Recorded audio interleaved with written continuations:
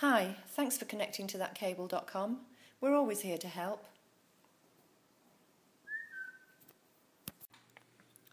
Welcome to this video by thatcable.com. Today we are showing you our HDMI IR adapters.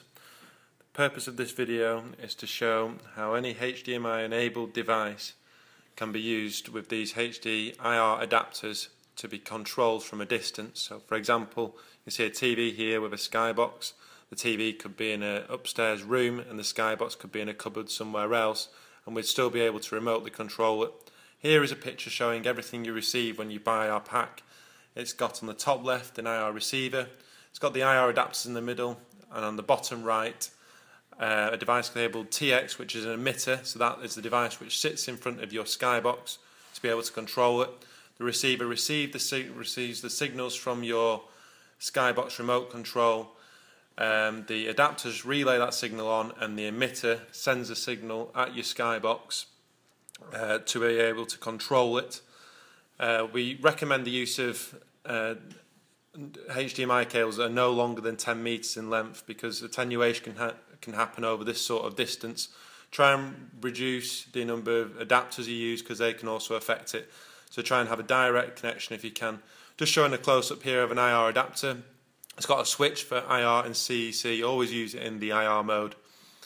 Uh, I'm just showing now a picture of the TX. This is the emitter and this is the device which sits in front of your skybox and will fire the remote control signals. And coming up next is the receiver. This is labelled RX and this will sit with you and your TV and this is what you'll point your remote control at to be able to control your skybox from a distance. We've got the skybox now and as you can see on the front of the skybox there is a circle just pointing at it and in, in the middle of that circle there is the IR receiver where your emitter will point at to be able to control it. Um, and going towards the back of the skybox now, you can see where the HDMI cable is plugged in. To use the IR adapters with this skybox, you simply unplug the HDMI cable and plug the IR adapter in, like has just been shown, and then plug the emitter into the side of the IR adapter and place it in front of the skybox on the back of the emitter there, you saw, you can actually stick it down if you'd like to with the sticky pads provided. We can't do in this example because it's not a fixed installation, the skybox is in top of this box. But if you had it in a cupboard, you'd fine tune it and get it in the right position and then you'd stick it down. Uh, you can see the HDMI cable here, it runs out the back of your skybox, it goes up the wall into another IR adapter like the one you just see on the back of the skybox and into the HDMI port on the side of the TV.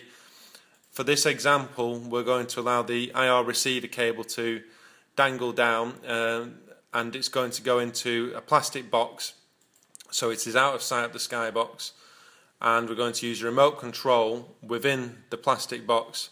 Just doing a close-up now so you can see the IR adapter, that's the same at both ends like we've just said.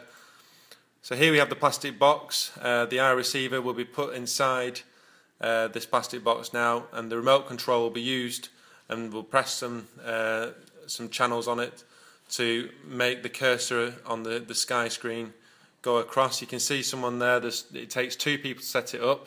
Well, it's always best if you have two people. There's somebody holding the TX, um, which is the emitter, in front of the skybox, about one and a half inches where we found was the best and most responsive.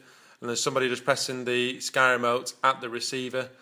And as you can see, the, the cursor will now move along um, nicely at the top of the screen. We're just going to fine tune it a bit more so we get you'll find when you're doing it yourselves you get the, the correct sweet spot with the emitter uh, and then all of a sudden the skybox will kick into action you can start seeing it um, you, you'll be able to control it from a distance. These devices can also be used with HDMI splitters too. I'm just showing the front there, the LED eye, you can sometimes put some masking tape over it and this make, makes this IR receiver more responsive uh, because a lot of the new TVs throw a lot of interference into the room. Uh, we're just showing you now just a quick setup. You just put the IR adapters on both ends of the HDMI cable and plug the emitter and the receiver into the sides of these IR adapters. It doesn't matter which end the IR adapters go at. They just both need to have, be set on the IR function.